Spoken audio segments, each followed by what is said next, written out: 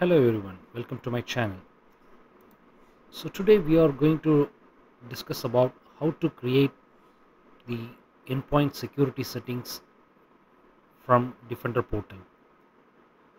Previously the Microsoft had this feature like you can create the endpoint security setting from Defender portal as a preview mode but now uh, Microsoft made uh, this capability as a generally available one uh, so now you can manage or create your AV or EDR or other security settings from Defender portal itself without uh, accessing your uh, GPO, SCCM, Intune or any other configuration tool. Technically you are creating the policy in MDE portal but in backend actually the policy is getting created in your Intune. You can consider the MDE as, as your uh, front end and Intune as your backend. So whenever you create any policies in MDE portal, the same policy will automatically get synchronized in your Intune portal. And if you are making any changes in the security policies in Intune portal, the same will get uh, reflected in your, uh, you are able to see those changes in your uh, MDE portal as well. So this method is not only favors the Windows platform but also the non-Windows platforms like Mac OS or Linux. Uh, for example, uh, to deploy the configuration profiles for a Linux environment, um, there is a need of Ansible, Chef, Puppet or some other deployment tool. Uh, but now uh, with this new capability, you should be able to create the security configuration profiles for your uh, non-Windows platform like macOS and Linux in Defender ports in Defender portal itself. So how does uh, this works? So if you check this architecture diagram, which I will uh, copy this link in the uh, description section, after you onboard the devices into Microsoft Defender for Endpoint, the device will start reporting to your uh, Intune and the same time the synthetic registration will be uh, happening uh, between your Intune and the Azure AD. Uh, after that registration is completed, uh, you should be able to create the policies in the portal and you can target uh, the same policy to your Azure AD group. So in order to do this, uh, we have to uh, do a couple of uh, prerequisites, one from the Intune portal and another from the MDE portal, I mean the Defender portal. So let me show you how to uh, make sure the prerequisites is done in Intune portal. So in this Intune portal, you can access the endpoint security section and you can go to Microsoft Defender for Endpoint. Here you have to make sure allow Microsoft Defender for Endpoint to enforce security configuration is turned on. This is the prerequisites that we have to make sure in the Intune portal. And now let's go back to the uh, Defender uh, portal. And here uh, you can uh, go all the way down to the settings section and click on the endpoints and scroll down to configuration management. Then you can click on enforcement scope. So in this enforcement scope, we, we have to make sure the MDE to enforce security configuration setting from Intune is turned on. Also, uh, you are planning to uh, test this feature in some of uh, devices before you go for a, the, org, the the mass rollout. So in that case, you can only enable this configuration management for tag devices. If you are going to do that, then you can turn on the on tag devices uh, option then you are good to go. Also uh, you can uh, use this security setting management the new security setting management for your defender for cloud uh, onboarded devices. For example if you are running any of your uh, devices in your uh, aws environment or your google cloud platform or even in the on-prem if any of the server is running and you are trying to uh, onboard those servers and want to manage the policies in the defender portal yes you can do this uh, by turning on this feature.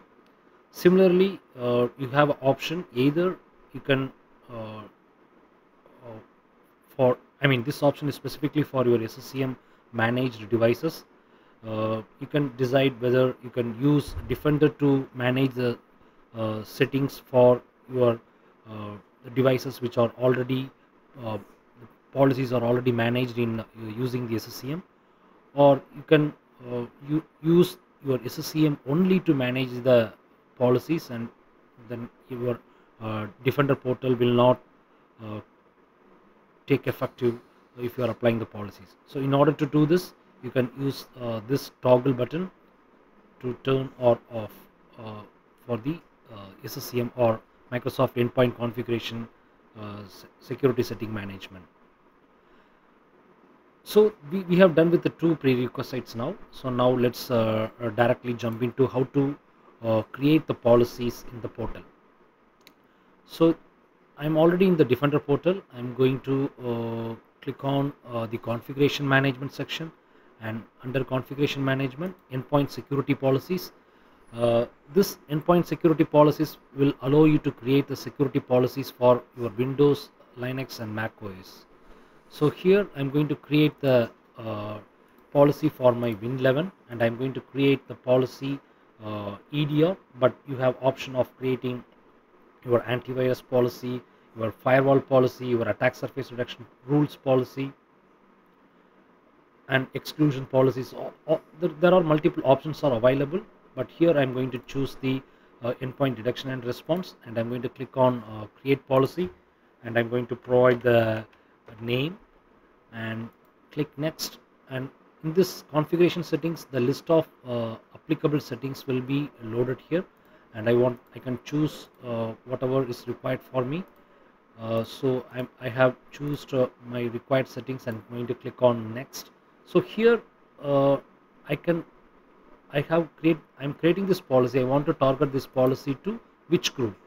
So I I already have my Windows 11 group which is created in my uh, Azure AD uh, so I'm going to target uh, this EDR policy to that specific group. And it also gives me how many devices it is going to be uh, targeted. And whether the target type is going to be include or exclude. For example if I want to uh, exclude some devices then I can choose exclude and add those group as well. Now I'm going to click on next and everything seems to be fine. Then I, all I need to do is click save and now my uh, EDR policy is getting created. So after uh, this policy uh, got created the policy will be applied to the uh, target machines and uh, and my devices should be onboarded uh, into the defender for endpoint so now I'm going to uh, validate whether my devices is got onboarded. So I'm, I'm going to uh, assets and device section.